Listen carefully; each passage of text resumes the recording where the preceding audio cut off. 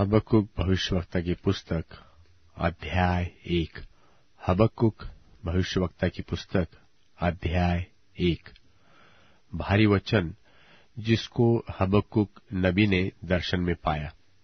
हे होवा मैं कब तक तेरी दोहाई देता रहूँगा और तू न सुनेगा? मैं कब तक तेरे सन्मुख उपद्रव उपद्रव चिल्लाता रहूँगा और क्या तू उद्धार नहीं करेगा? तू मुझे अनर्थ काम क्यों दिखाता है? और क्या कारण है कि तू आप उत्पात को देखता रहता है और मेरे सामने लूटपाट और उपद्रव होते रहते हैं और झगड़ा हुआ करता है और वाद विवाद बढ़ता जाता है? इसलिए व्यवस्था ढीली हो गई और न्याय कभी नहीं प्रकट होता। दुष्ट लोग धर्मी को घेर लेते हैं, सो न्याय का खून हो रहा है। अन्य जातियों की ओर चित्त लगाकर देखो और बहुत ही चकित हो, क्योंकि मैं तुम्हारे ही दिनों में ऐसा काम करने पर हूँ कि जब वह तुमको बताया जाएगा तो तुम उसकी प्रतीति न करोगे। देखो, मैं कस्तियों को उभारने पर हूँ।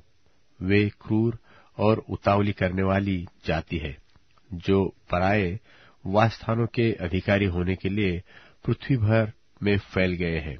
वह भयानक और डरावने हैं।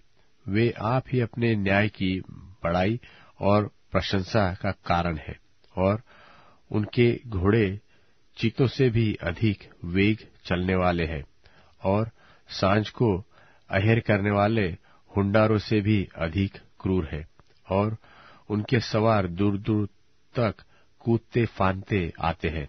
हाँ वह दूर से चले आते हैं और अहेर पर झपटने वाले उकाब की नाए झपटा मारते हैं। वह सब के सब उपद्रव करने के लिए आते हैं।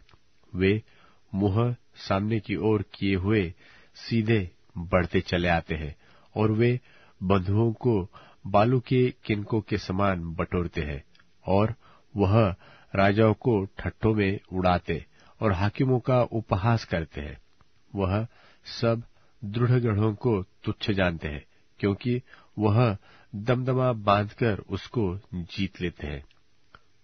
तब वह वायु किनाई चलते और मर्यादा छोड़कर दोषी ठहरते हैं, क्योंकि उनका बल ही उनका देवता है। हे मेरे परमेश्वर होवा हे मेरे पवित्र परमेश्वर, क्या तू अनादिकाल से नहीं है? इस कारण हम लोग नहीं मरने के।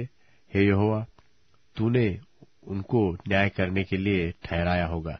हे चट्टान, तूने उलाहने देने के लिए उनको बैठाया है। तेरी आँखें ऐसी शुद्ध है कि तू बुराई को देख ही नहीं सकता और उत्पात को देखकर चुप नहीं रह सकता। फिर तू विश्वासघातियों को क्यों देखता रहता? और जब दुष्ट उसको जो निर्दोष है निगल जाता है, तब तू क्यों चुप रहता है? और तू क्यों मनुष्य को समुद्र की मछलियों के और उनके रेंगने वाले जंतुओं के समान बनाता है, जिन पर कोई शासन करने वाला नहीं है। वह उन सब मनुष्यों को बंसी से पकड़कर उठा लेते और जाल में घसीट लेते और महाजाल में फंसा लेते हैं। इस कारण वह आनंदित और मगन है।